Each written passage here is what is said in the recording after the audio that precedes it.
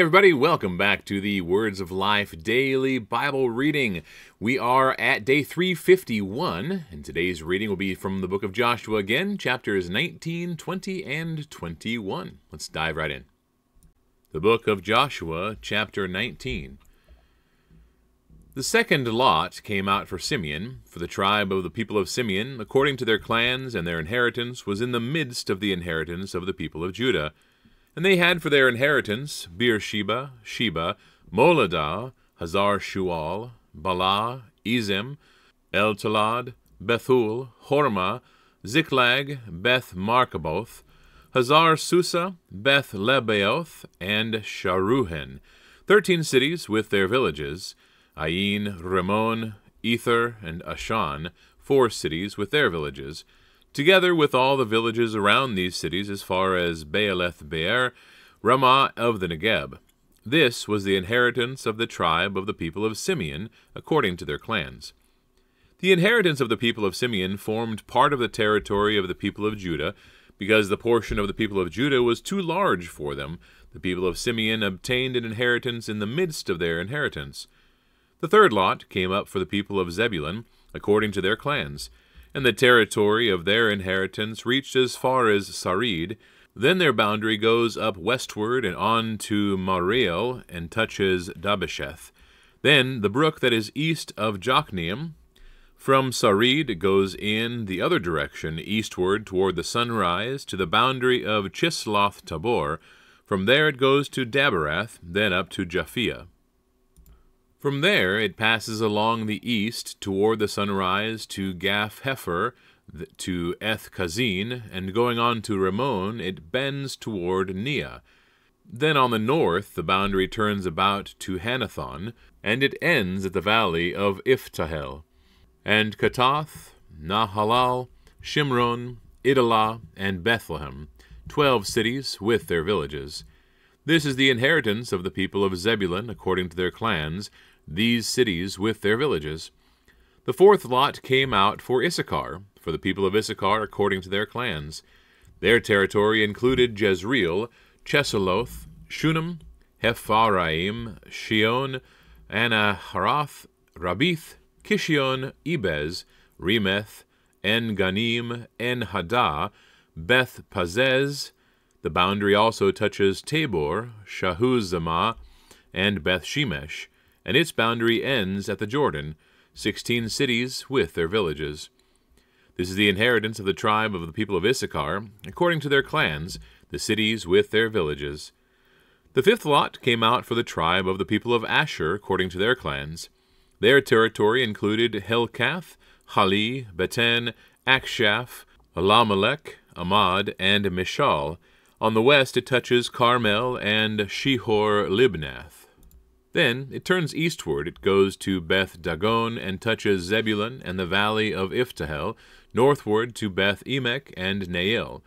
Then it continues in the north to Cabul, Ebron, Rehob, Hammon, Kanah, as far as Sidon the Great. Then the boundary turns to Ramah, reaching to the fortified city of Tyre. Then the boundary turns to Hosah, and it ends at the sea, Mahalab, Achzib, Ummah, Aphek, and Rehob, twenty-two cities with their villages. This is the inheritance of the tribe of the people of Asher, according to their clans, these cities with their villages. The sixth lot came out for the people of Naphtali, for the people of Naphtali according to their clans, and their boundary ran from Heleph, from the oak in Zaanannim, and Adami Nekeb and Jabneel as far as Lakkum, and it ended at the Jordan. Then the boundary turns westward to Aznoth Tabor, and goes from there to Hukkok, touching Zebulun at the south, and Asher on the west, and Judah on the east at the Jordan. The fortified cities of Ziddim, Zur, Hammath, Rakkath, Chinnereth, Adamah, Ramah, Hazor, Kedesh, Edrei, En Hazor, Yiron, Migdal El, Horem, Beth Anath, and Beth Shemesh, nineteen cities with their villages. This is the inheritance of the tribe of the people of Naphtali according to their clans, the cities with their villages. The seventh lot came out for the tribe of the people of Dan according to their clans. And the territory of its inheritance included Zorah, Eshtaol, Ir Shemesh, Shaalabbin, Aijalon, Ithlah, Elon, Timnah, Ekron, El Tekeh, Gibbethon, Baalath, Jehud, Bene Berak, Gath Rimmon, and Me Jarkon, and Rakkon with their territory over against Joppa. When the territory of the people of Dan was lost to them, the people of Dan went up and fought against Leshem, and after capturing it and striking it with a sword, they took possession of it and settled in it, calling Leshem Dan after the name of Dan their ancestor. This is the inheritance of the tribe of the people of Dan, according to their clans, these cities with their villages. When they had finished distributing the several territories of the land as inheritances, the people of Israel gave an inheritance among them to Joshua the son of Nun. By command of the Lord, they gave him the city that he asked, Timnath Serah in the hill country of Ephraim, and he rebuilt the city and settled in it. These are the inheritances of that Eleazar the priest, and Joshua the son of Nun, and the heads of the fathers' houses of the tribes of the people of Israel distributed by lot at Shiloh before the Lord, at the entrance of the tent of meeting. So they finished dividing the land. Joshua chapter 20 Then the Lord said to Joshua, Say to the people of Israel, Appoint the cities of refuge of which I spoke to you through Moses, that the manslayer who strikes any person without intent or unknowingly may flee there. They shall be for you a refuge from the avenger of blood. He shall flee to one of these cities, and shall stand at the entrance of the gate of the city, and explain his case to the elders of that city. Then they shall take him into the city, and give him a place, and he shall remain with them. And if the avenger of blood pursues him, they shall not give up the manslayer into his hand, because he struck his neighbor unknowingly, and did not hate him in the past. And he shall remain in that city until he has stood before the congregation for judgment, until the death of him who is the high priest at that time. Then the manslayer may return to his own town and his own home, to the town from which he fled. So they set apart Kedesh in Galilee in the hill country of Naphtali, and Shechem in the hill country of Ephraim, and Kiriath Arba, that is Hebron, in the hill country of Judah. And beyond the Jordan east of Jericho they appointed Bezer in the wilderness of the tableland, from the tribe of Reuben, and Ramoth in Gilead from the tribe of Gad, and Golan in Bashan from the tribe of Manasseh. These were the cities designated for all the people of Israel and for the strangers sojourning among them, that anyone who killed a person without intent could flee there, so that he might not die by the hand of the avenger of blood till he stood before the congregation.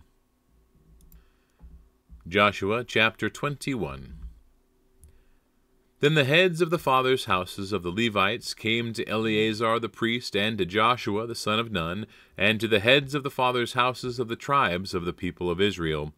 And they said to them at Shiloh in the land of Canaan, the Lord commanded through Moses that we be given cities to dwell in, along with their pasture lands for our livestock. So, by command of the Lord, the people of Israel gave to the Levites following cities and pasture lands out of their inheritance. The lot came out for the clans of the Kohathites. So those Levites who were descendants of Aaron the priest received by lot from the tribes of Judah, Simeon, and Benjamin thirteen cities and the rest of the Kohathites received by lot from their clans of the tribes of Ephraim, from the tribe of Dan, and the half tribe of Manasseh, ten cities. The Gershonites received by lot from the clans of the tribe of Issachar, from the tribe of Asher, from the tribe of Naphtali, and from the half tribe of Manasseh in Bashan, thirteen cities. The Merarites, according to their clans, received from the tribe of Reuben, the tribe of Gad, and the tribe of Zebulun twelve cities. These cities and their pasture lands the people of Israel gave by lot to the Levites, as the Lord had commanded through Moses. Out of the tribe of the people of Judah and the tribe of the people of Simeon they gave the following cities mentioned by name, which went to the descendants of Aaron, one of the clans of the Kohathites who belonged to the people of Levi, since the lot fell to them first.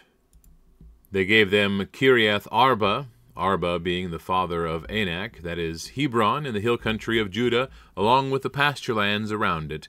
But the fields of the city and its villages had been given to Caleb the son of Jephunneh as his possession, And to the descendants of Aaron the priest they gave Hebron, the city of refuge for the manslayer, with its pasture lands, Libnah with its pasture lands, Jattir with its pasture lands, Eshtemoa with its pasture lands, Holon with its pasture lands, Debir with its pasture lands, Ain with its pasture lands, Juttah with its pasture lands, Beth Shemesh with its pasture lands, nine cities out of these two tribes.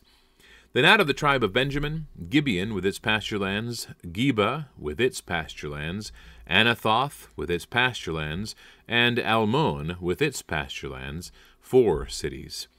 The cities of the descendants of Aaron, the priests, were in all thirteen cities with their pasture lands. As to the rest of the Kohathites belonging to the Kohathite clans of the Levites, the cities allotted to them were out of the tribe of Ephraim.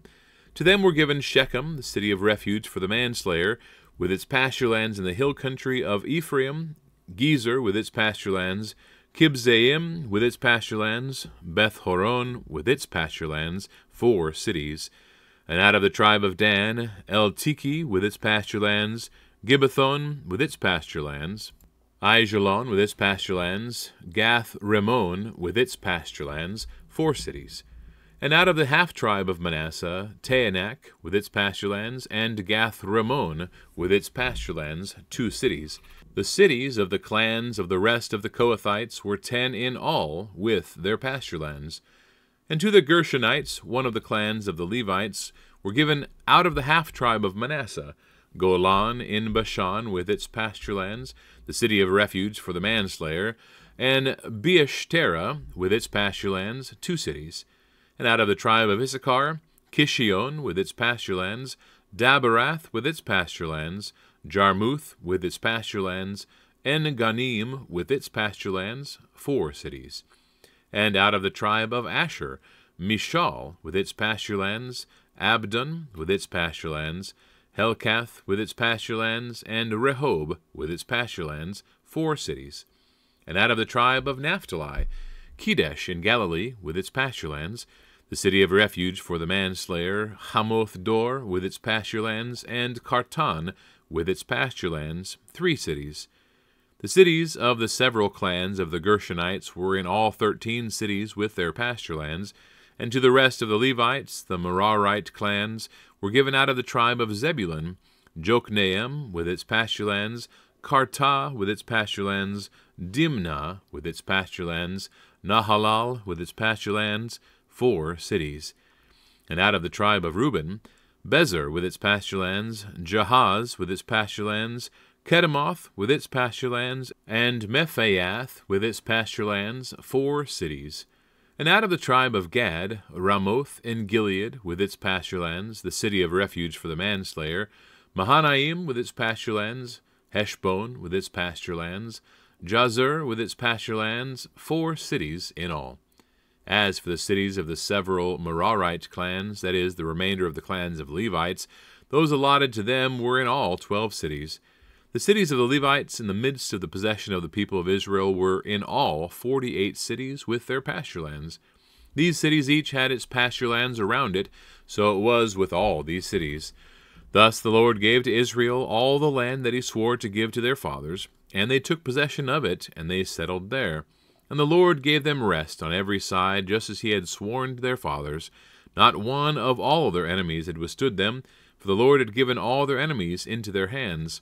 Not one word of all the good promises that the Lord had made to the house of Israel had failed.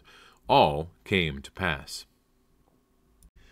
All right, that wraps up the reading for today, and we'll just leave it with the, the, very final thought of the last chapter we just read is that all of God's promises will always come true, and that is pretty comforting if you uh, if you think about it a little bit. God bless you all. We will see you tomorrow.